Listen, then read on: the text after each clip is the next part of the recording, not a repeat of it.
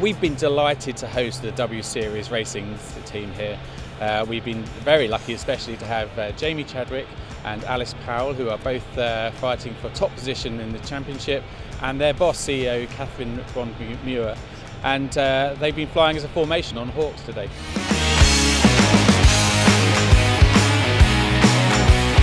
W Series is the first and only all-female single-seater motor racing series in the world. The RAF has pilots, we have drivers, but we also have a lot of engineers and mechanics and we're trying to get as many women into those positions as possible. There's so many people involved in just getting us airborne for one hour. And I actually especially love to see women in the engineering roles, the lineys, uh, working in ops, on the desk. It's just it always brings a smile to my face when I walk past another woman who's helping me get airborne. And I think it goes both ways as well. So we all just love to see more women in, and the more the better. There are no stereotypes here. Uh, my squadron is uh, diverse in experience, age, female pilots, male pilots going through. Um, the only limitation you can set is a limitation set by yourself, so uh, just go for it. We're a meritocracy, and this is one of the things that Catherine's trying to break down in Formula One, where you need sponsorship to get an advance. We don't have sponsorship, you get through in your merits and you progress. And that's one of the best things about mobility within the armed forces is we take you as who you are and we want to get, get you up the ranks and through the, uh, the, the system to make the most of you, to fulfill your opportunity and your potential.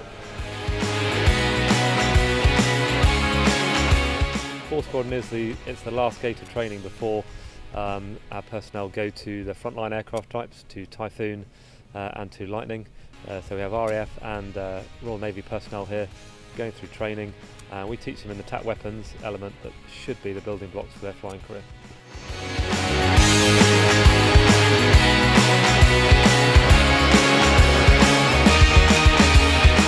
So we've been here having a go in, in these amazing jets.